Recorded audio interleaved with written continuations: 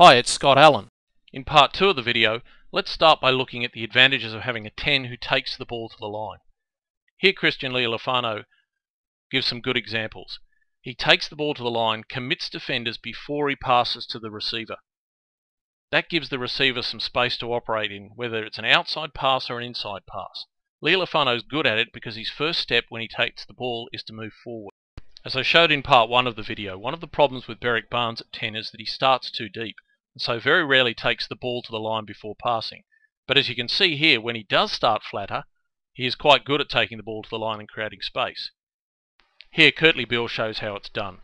By taking the ball to the line, he attracts the Argentine defenders, and that's what opens up the hole for Ioane. And here against England, he'll take the ball to the line, this time turns it back inside for Palu and gives him just a little bit of room. And in this example, taking the ball to the line, he's able to put Barnes into a little bit of space on the outside of the defenders. However, one of the big drawbacks with Kurtley playing in the front line is he does have a tendency to run across the field and pass the ball before he gets to the line, which allows the defenders to drift out onto the ball receiver.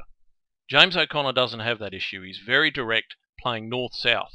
You can see him here taking the ball to the line, holding the inside defenders, and that gives space for the ball carrier to run into.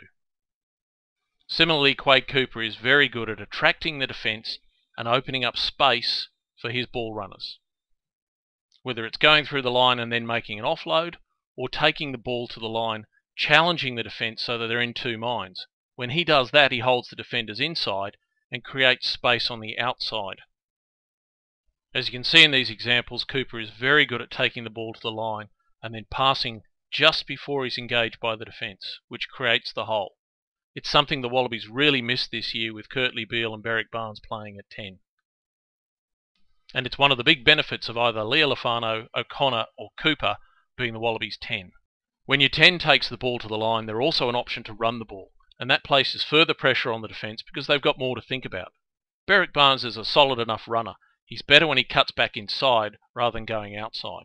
But he's hardly the type of runner that strikes fear into the opposition. When Kurtley Beale's playing at fullback, he is that type of runner. But when he's playing in the front line, he has a tendency to run across field too much, which makes him an easy target and also takes away any space from his outside runners when he does offload the ball. Your number 10 controls the direction of the attack, and it's something that Kurtley didn't do well in 2012. Christian Lealiifano is a more direct runner, but he does have the ability to move laterally to make holes in the defensive line. James O'Connor runs very straight for a number 10, but his amazing footwork and his blinding acceleration bamboozles most defences he comes up against. Quade Cooper's got the footwork and the acceleration, He's very deceptive when he goes to the line, and that often leads to half breaks.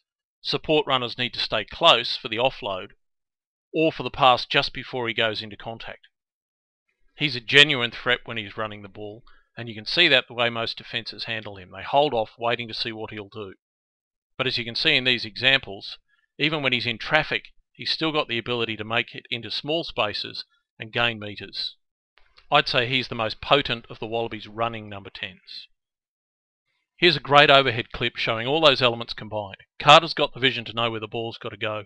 He takes it to the line, makes a great flat pass, which gives Cory Jane some space.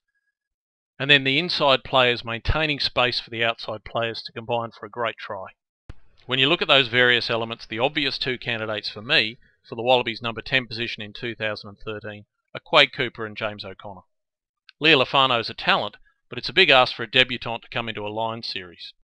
Of course, that's on the basis that the Wallabies want to go with an attacking game plan. If they want to use the Robbie Deans restricted game plan that they used in 2012 and the Rugby World Cup in 2011, then I think Berrick Barnes is the best candidate. But I don't think that's the way the Wallabies can beat the Lions. So for me, it'd be Quade Cooper at 10, and having now rewatched James O'Connor playing 10 for the Wallabies on the 2011 end of year tour, I'm going to change my mind. I think James O'Connor should be the Wallabies number 12 the combination of Cooper and O'Connor would be devastating. Of course, that's all subject to how everybody performs in Super Rugby. But for me, the Wallabies have to attack, and having a 10 and 12 like Cooper and O'Connor would be a great start.